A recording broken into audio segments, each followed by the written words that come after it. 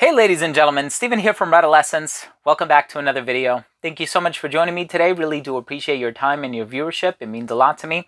So here we have a brand new fragrance by the company House of Sillage. This one is called Whispers of Temptation. I've actually also reviewed Whispers of Truth Noir. I'm going to leave a card to that up here. And of course, I've also reviewed many on the men's side as well. If I remember, I'm going to leave all of the links down below in the description. But this is a brand new fragrance. I'm very excited to give you my thoughts on it, so make sure to stay tuned.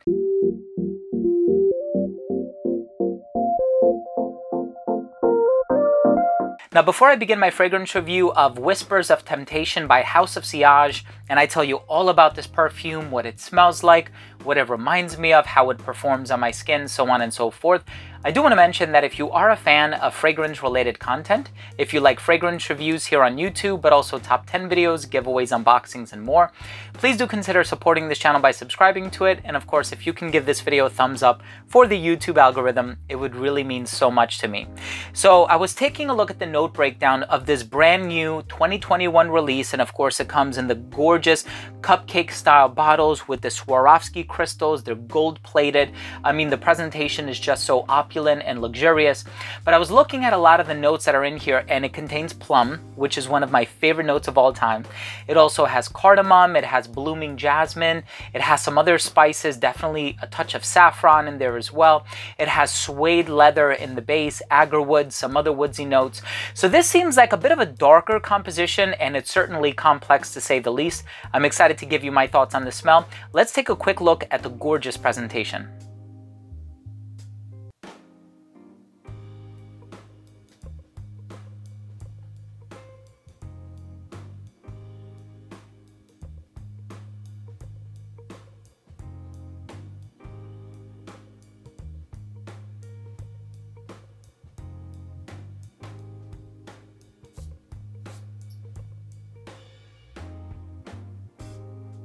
So this fragrance opens up very fruity and very spicy.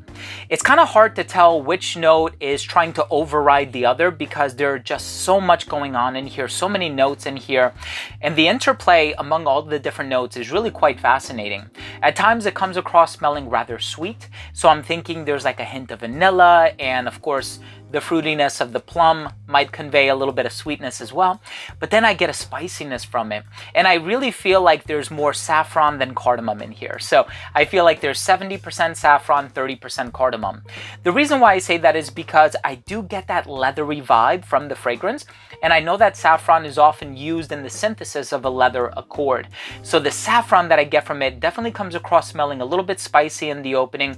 But there's also that fruity and sweet tonality that is really, really enjoyable. I know at times it almost kind of gives off like this lactonic peach slash apricot kind of a vibe. There is no peach or apricot listed in the note breakdown, but I'm guessing some of those fruity tendencies are morphing into this really unique um, accord, if you will, on account of the plum that's used in the opening. Now, I also mentioned there's a little bit of agarwood used in the base, and of course, agarwood is a very expensive ingredient, and I know that uh, House of Sillage does have the tendency of using a lot of natural ingredients, and of course, you can certainly smell the agarwood in this one. If you smelled any number of other agarwood-based fragrances, this one does it in a unique way, in my opinion, because it doesn't necessarily pair agarwood with rose. Of course, there's blooming jasmine in here. There are a lot of spices in here. So it does kind of give off this exotic, opulent, mysterious, and enigmatic vibe. But I feel like there's just enough agarwood in here to create that air of mystery without taking away that, you know, splendid, illustrious quality from, you know, the spices that are in here, mostly the saffron, but also the cardamom as well the jasmine, and then also that fruity tonality that you have going on in the opening. Now, in terms of the jasmine that's in here, it's very quiet. So I don't get it up front and center necessarily. There are some other House of Sillage fragrances where I do get the floral tones quite loudly and quite robustly in the opening. In the case of this one, I feel like the jasmine is way in the back, but it does ultimately help to paint the overall olfactive picture that you're going to get from this fragrance. So I personally really enjoy this one. I think this one is perfectly unisex. Plum is an ingredient that of course I've encountered before, not only in women's fragrances, but men's fragrances as well. And of course, agarwood is one of those ingredients that I think is a little bit more popular in commercial men's fragrances, but can also be found in a lot of women's perfumes as well. And of course, when it comes to a lot of niche brands, uh, they're typically unisex. And so I personally find this to be a very unisex fragrance. And I was actually wearing this one about two or three weeks ago and I went to a local spa. I do like to have infrared sauna sessions every once in a while just to detox. And the proprietor of the spa actually smelled it on me and she said, What are you wearing? So I actually had to write the name down for her and she was quite smitten by this one. And I do feel like it has that robust flavor and personality about it that will really boom off your skin. It will get you noticed. And so if you are in the market for a spicy yet fruity sweet agarwood perfume, look no further, especially if you're a fan of notes like saffron and plum. I think this one is going to be absolutely awesome for you.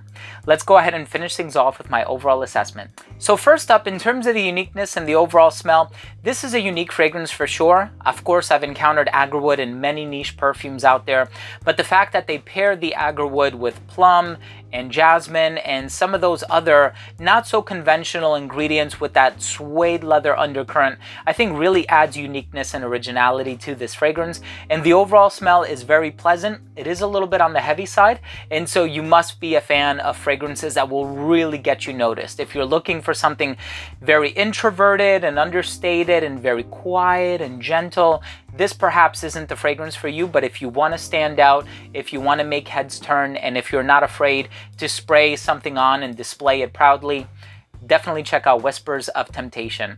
In terms of the longevity, you can expect about 10 hours on your skin. The projection was great for the first two to two hours of application. And for those first two hours, it actually did radiate just a little bit beyond an arm's length.